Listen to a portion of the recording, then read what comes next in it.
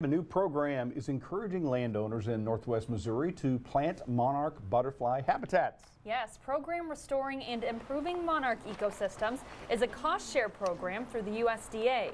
Landowners receive training from program partners on how to create monarch habitats on their property, and from there it's up to the landowner to implement and maintain the habitat, and they will later get reimbursed for their work.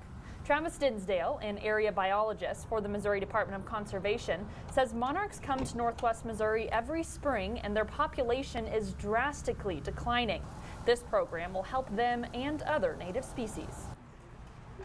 We want to get habitat back out on the landscape to help uh, not only the monarchs but other pollinators as well. Uh, we've got a lot of uh, native insects and uh, bees that are in decline, uh, and any uh, of these plantings that we're doing for monarchs are going to benefit all of those species as well as as well as uh, you know a lot of the grassland birds.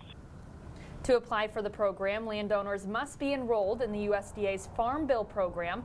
Contact the local USDA office by May 20th to be eligible for funding.